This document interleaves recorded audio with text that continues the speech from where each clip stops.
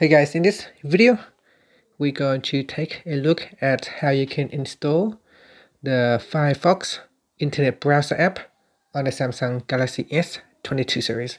First tap on the home button to take you back to the home screen. And from the home screen, you want to swipe across until you can find Play Store.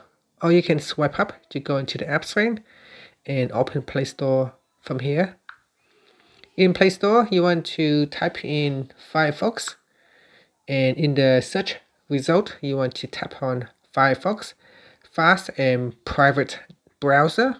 Tap on that, and from here, it will allow you to tap on the install button. Uh, it will now proceed to download the app. Give it a few minutes. It um, should be relatively fast, depending on your internet connection.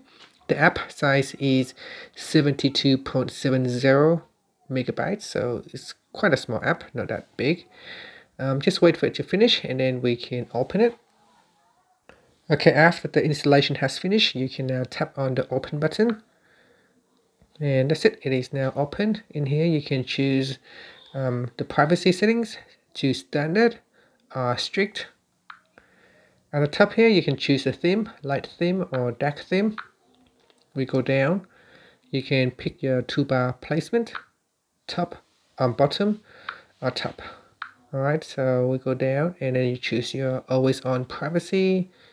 You can sync Firefox between devices if you sign up or sign in. And here you got your uh, privacy message. So after that you can tap on start browsing. And you can see here the search bar is now at the bottom instead of at the top.